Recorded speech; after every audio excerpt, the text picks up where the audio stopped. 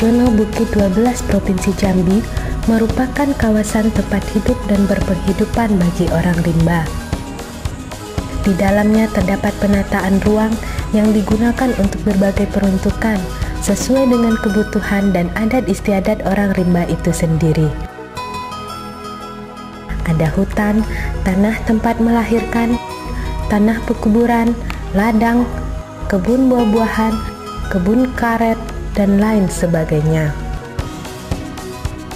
Komunitas Konservasi Indonesia Warsi adalah lembaga swadaya masyarakat yang telah lama berkegiatan mendampingi orang rimba. Dalam dua hari ini mah mempelajari koyo ya lah. Pertama mengetahui si apa GPS Yoya, apa kegunaannya, dan pemono menggunakan GPS Yoya. Nah, harapannya aku dari pelatihan Yoma, harapannya adalah neo kelanjutan dari kita kumpul pada mau kekal. Uh, yang pertama waktu kita rapat ya, kita berpikiran untuk membuat sebuah zona-zona yang sesuai pada pengaturan adat orang rimba. Dan yang kedua, warsi diminta untuk memfasilitasi, membantu orang rimba memberi pelatihan contohnya GPS. Dalam dua hari lima belajarlah sebebeknya. Nah, tanya kok nang piadu mika jelai dan gunakanlah alat-alat nang todo mika pelajari sebebeknya. Nah, yuk bayar ya ke. Terima kasih waktunya. Selamat pagi semuanya. Hadi, Doni, dan Freddy merupakan stafkis KKI Warsi yang telah cukup lama berkegiatan di Taman Nasional Bukit 12. Selama dua hari, mereka bersama dengan rekan-rekan fasilitator lainnya sedang berusaha membagikan ilmu tentang GPS dan pemetaan kepada orang rimba yang bertepat di Balai Pertemuan Orang Rimba Bukit Suban Taman Nasional Bukit 12. Materi yang diberikan pada pelatihan ini antara lain tentang arah mata angin, mengenal dan membaca peta, plotting koordinat, serta mengenal dan mengoperasikan GPS Garmin 60. Karet, pasoron, ah, yoi, dibuat di dalam jadi kecil bisa tekoli di awal di dalam selai kertai mumpannya kan selai kertai walaupun godong tapi termasuk kecil masalahnya kan kalau kita uh, coba gambar konihan kan lo puja kan nah, nang 10 hektar bisa nampak tekoli kecil pun gitu. Oh artinya kita belai itu mak maknanya yo ya legenda ya.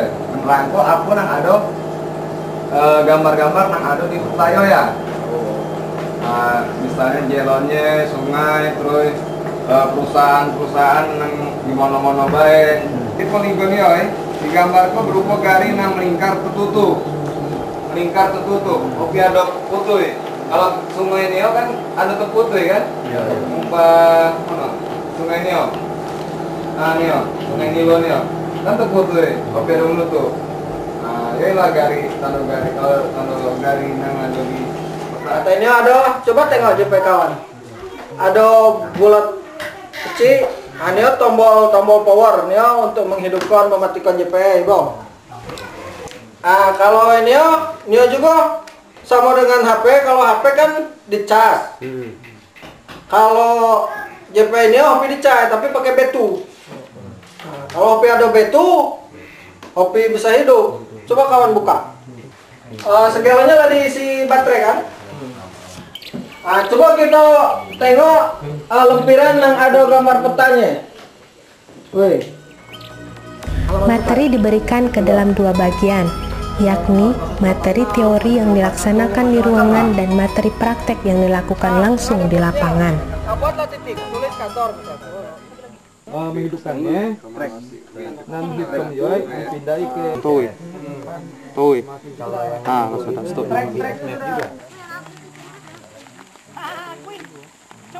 Pilimit ini kan, pedang ngomong baik-baik akan saya ini. Aduh, aku pindah pada depan. Uh, uh, uh,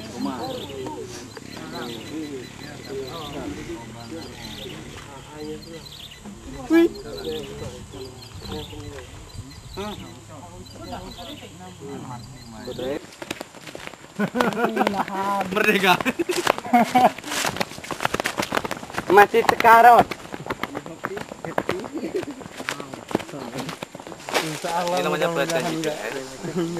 Dan pelatihan ini ditujukan untuk orang rimba di Bukit 12. Ya biar dia bisa memetakan hutan dia sendiri.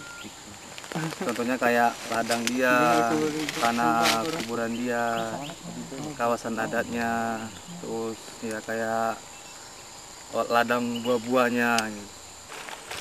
Kan yang lebih yang lebih tahu kawasan kan orang rimba itu sendiri ini kawasan ini, ini kawasan ini, kawasan ini mungkin kayak dari pemerintah atau dari NGO NGO lain dia nggak akan tahu atau kurang tahu.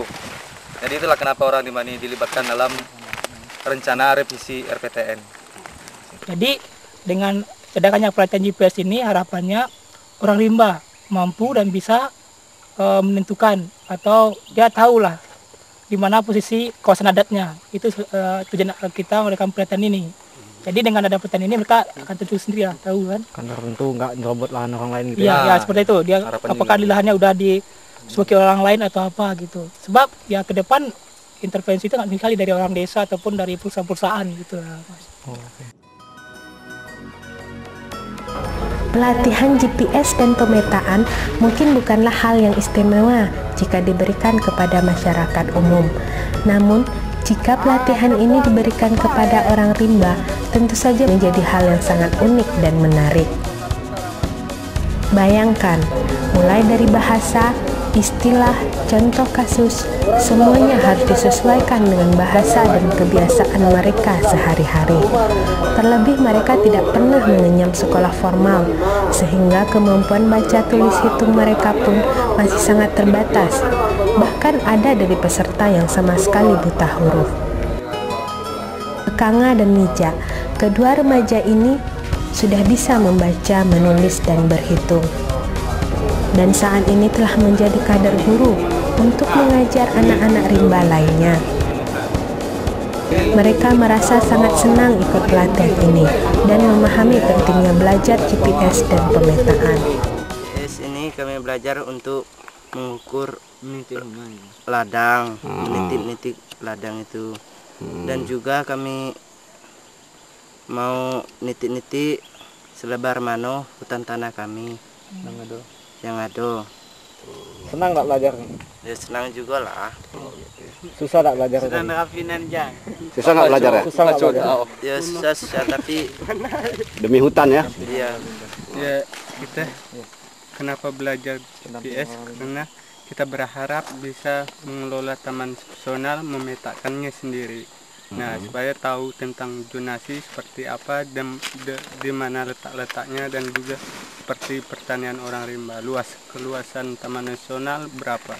Harapan kita ke depan bahwa kita bisa apa meng- menggunakan GPS sendiri. Maksud saya orang rimba sendiri yang menggunakannya. Kenapa berencana sangat berencana menggunakan GPS oleh karena kita tahu letaknya dan aturan untuk mema- memakai hutan mengelola hutan juga tahu aturannya. karena hutan eh, semakin berkurang. Tidak mudah memang, tapi bukan juga berarti sesuatu yang mustahil. Hasilnya, secara prinsip mereka telah mengerti dan memahami tentang peta. Mereka pun mampu menggunakan GPS di lapangan, sesuatu yang perlu diacungi jempol. Mereka cukup cerdas sehingga memudahkan mereka untuk menangkap dan memahami materi-materi yang diberikan.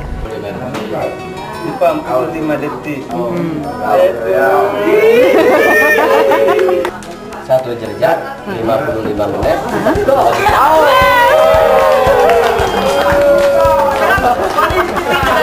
Balik titiknya lagi.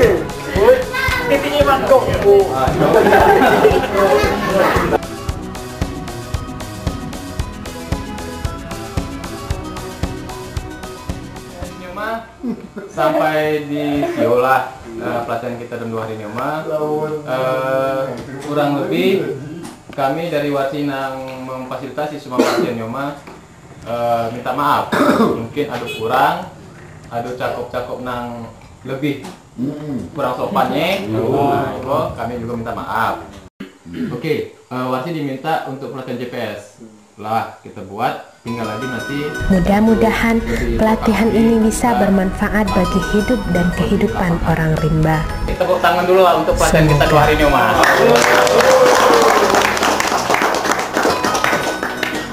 Lah kalau ada yang nggak pukulin pukulin pukulin lah